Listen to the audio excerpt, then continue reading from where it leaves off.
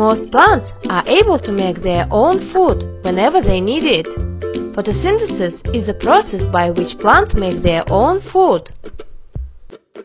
To make food, plants need carbon dioxide, water, and sunlight.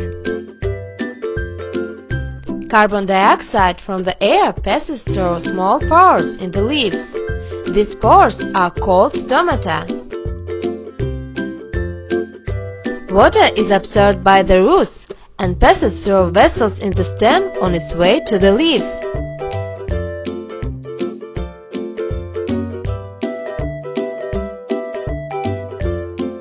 Sunlight is absorbed by a green chemical in the leaves.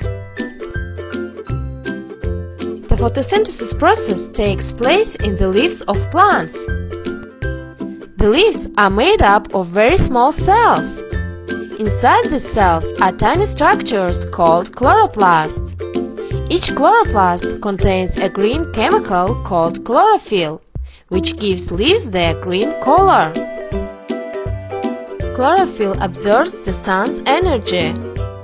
It is this energy that is used to split water molecules into hydrogen and oxygen. Oxygen is released from the leaves into the atmosphere. Hydrogen and carbon dioxide are used to form glucose or food for plants.